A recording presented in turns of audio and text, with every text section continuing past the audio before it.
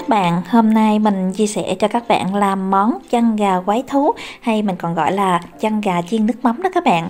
Cái món này mình có thể làm mình ăn chơi à, cho những người thân trong gia đình của mình hoặc là bạn bè của mình làm rất là dễ luôn. Và nguyên liệu ngày hôm nay của mình á thì mình sẽ cần là 10 cái chân gà và 10 cái chân gà này nè các bạn. À, mình mua về mình sẽ rửa cho nó sạch, à, sau đó mình sẽ à, chặt bỏ những cái móng gà đi và mình sẽ chẻ đôi cái à, chân gà ra như thế này và nó vẫn còn dính cái miếng da ở dưới ha. Mình không có chẻ uh, đứt. Rồi mình sẽ cần 10 cái chân gà rồi mình cần một muỗng cà phê nước mắm nè, nửa muỗng cà phê muối, bốn cái tép tỏi, bốn cái trái ớt và à, nửa cái trái chanh như thế này. Nếu như các bạn có trái chanh nhỏ thì mình sẽ cần một trái chanh ha. Và đây là thành phần để mình ướp cái chân gà của mình. Và đây là cái thành phần để mình làm nước sốt. Thì hôm nay mình sẽ cần là ba muỗng canh đường nè, hai muỗng rưỡi canh nước mắm, một muỗng canh tương ớt và mình cũng sẽ cần thêm là dầu ăn để mình chiên cái chân gà của mình. Và như vậy là những cái thành phần này đơn giản thì mình sẽ có một cái món chân gà quái thú hay là chân gà chiên nước mắm rất là ngon. Và bây giờ mình sẽ bắt tay vào làm liền cái món ăn ngày hôm nay của mình. Và bây giờ mình chuẩn bị một cái chén á các bạn. Mình sẽ cho là hai muỗng rưỡi canh nước mắm vào đây. Ba muỗng canh đường ha. Rồi mình cũng sẽ cho vào đây một muỗng canh tương ớt. Nếu các bạn nào mà thích ăn cay hơn thì mình có thể cho vào đây một muỗng cà phê tiêu nữa. Và mình sẽ quậy đều à, cái chén nước sốt của mình lên mình quậy như thế này nè các bạn sau đó mình sẽ để qua một bên và mình à, tiếp tục làm những công đoạn tiếp theo. Rồi bây giờ mình chuẩn bị một cái tô ha các bạn. Mình sẽ cho à, 10 cái chân gà của mình nè vào trong cái tô này để mình ướp á. Mình sẽ cho vào đây là à, một muỗng cà phê nước mắm và nửa muỗng cà phê muối các bạn. Rồi mình sẽ vắt à, nửa cái trái chanh nè vào trong đây mình ờ, vắt nước cốt chanh này nè các bạn thì nó sẽ giúp cho cái da gà của mình khi chiên á, nó sẽ giòn ngon hơn ha.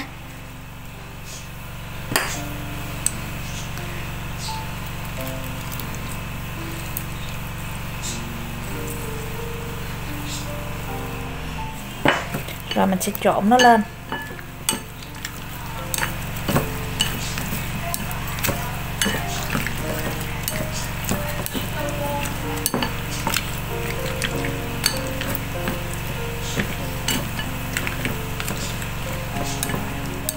Mình trộn đều ha để cho muối là nước mắm với nước cốt chanh á nó sẽ đều vào thấm vào đều vào trong cái chân gà của mình.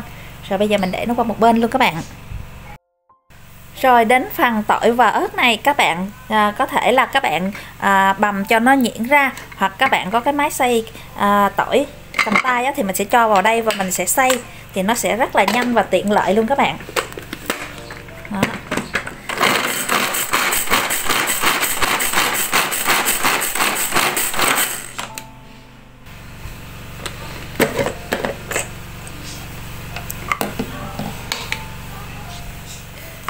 Rồi mình đã có à, tỏi và ớt.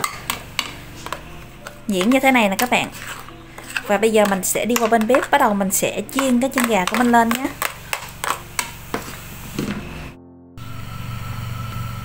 Rồi bây giờ mình sẽ bắt một cái chảo lên bếp để mình chiên ha. Mình mở lửa lên. Rồi mình sẽ cho dầu ăn vào đây.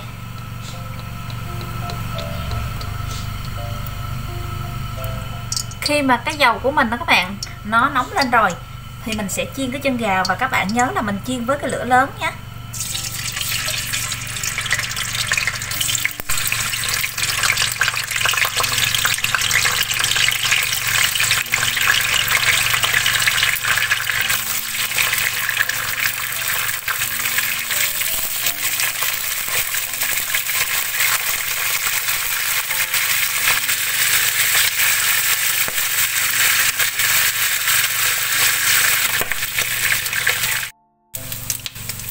Bạn chiên một hồi á các bạn sẽ thấy cái chân gà của mình á nó vàng điều thì mình sẽ gấp nó ra ha. Và các bạn nhớ là mình chiên cái này mình phải cẩn thận vì nó rất là dăm à, cái dầu của mình á. Bây giờ thì cái chân gà này nè mình sẽ lấy ra.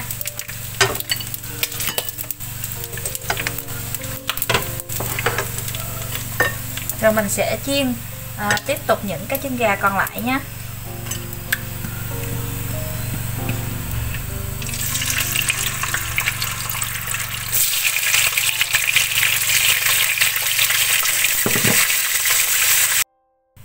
và sau khi mà mình chiên hết cái chân gà của mình lần thứ nhất đó các bạn thì bây giờ mình sẽ cho à, những cái chân gà mình chiên xong nè các bạn. Để cho nó nguội hơn một tí xíu ha. Sau đó mình sẽ cho nó vào trong cái chảo dầu này và mình sẽ chiên lần thứ hai. Mình chiên hai lần như vậy á, thì cái chân gà của mình nó sẽ giòn nó ngon ha các bạn.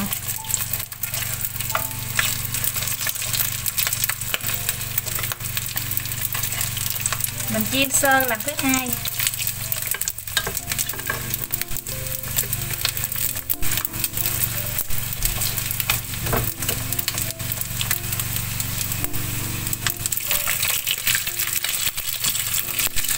Rồi mình cũng đã chiên lần thứ hai xong các bạn. Bây giờ mình sẽ lấy chân gà của mình ra dĩa. Yeah, nó dành dữ lắm luôn á. Rồi sau khi mà mình chiên chân gà lần thứ hai thì mình sẽ cho dầu uh, ra ngoài hết các bạn. Sau đó mình sẽ cho 3 muỗng canh dầu ăn mới vào đây. Mình sẽ đun cho cái dầu của mình nó nóng lên đó các bạn. Rồi bây giờ mình sẽ cho hết cái tỏi ớt. Mình ờ, xay nè mình băm nhỏ ra nè các bạn cho hết vào đây ha. Mình sẽ phi thơm lên.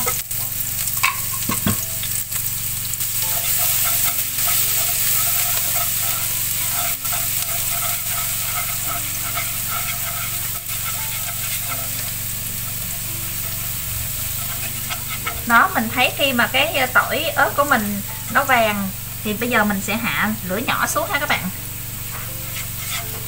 Rồi bây giờ tiếp theo là mình sẽ cho ờ, hết cái chân gà mình chiên. này cùng cái chén nước sốt nè các bạn. Mình cho hết vào đây. Sau đó mình sẽ đổ đều lên để cho cái nước sốt đó nó bám đều vào trong cái chân gà của mình.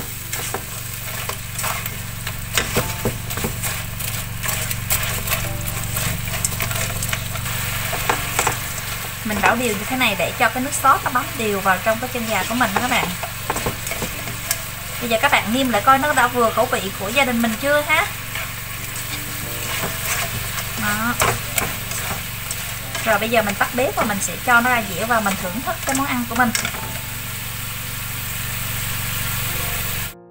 Và bây giờ cái món chân gà quái thú hay là chân gà chiên nước mắm của mình cũng đã xong rồi các bạn. Sau khi mình chiên xong mình cho nó ra dĩa và mình sẽ dùng khi nó vẫn còn nóng đó các bạn. Mình chấm chung với à, muối tiêu chanh nè, ăn kèm với rau răm nữa rất là ngon. Cái nước sốt thì nó mặn mặn nó ngọt ngọt, à, thêm vào nữa là à, tỏi ớt có nó thơm đó các bạn à, mình ăn chơi hoặc là mình có thể mình cũng chung với một cái ly bia cùng với bạn bè người thân của mình. Rất là tuyệt vời và cách làm thì đơn giản. Nếu như các bạn nào mà thích cái món này á thì các bạn có thể vào bếp và làm theo cách chia sẻ của mình để các bạn có một cái món chân gà thiệt là ngon ha. Mình chúc các bạn làm thành công nhé